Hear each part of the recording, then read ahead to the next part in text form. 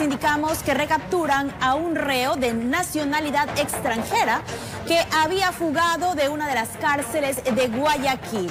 Durante el procedimiento se logró decomisar además de droga otras evidencias. Veamos.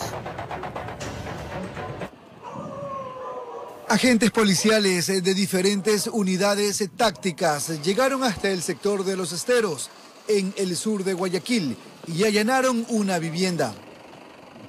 Allí lograron recapturar a John Merchan Camacaro, de nacionalidad venezolana, quien había fugado de la penitenciaría del litoral en las periferias de la ciudad. La fuga se produjo la noche del pasado lunes, luego de que el recluso escalara uno de los muros de la prisión, aparentemente en complicidad de guías penitenciarios.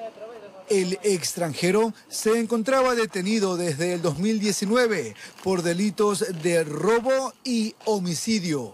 Ahora, tras su nueva captura, deberá enfrentar un proceso judicial por evasión. Durante el operativo de búsqueda, los uniformados decomisaron armas cortopunzantes, droga y otras evidencias. Paralelamente, la policía realizó otros allanamientos con la finalidad de ubicar a más infractores de la ley que en los últimos meses han protagonizado hechos violentos. Informó Jorge Salazar.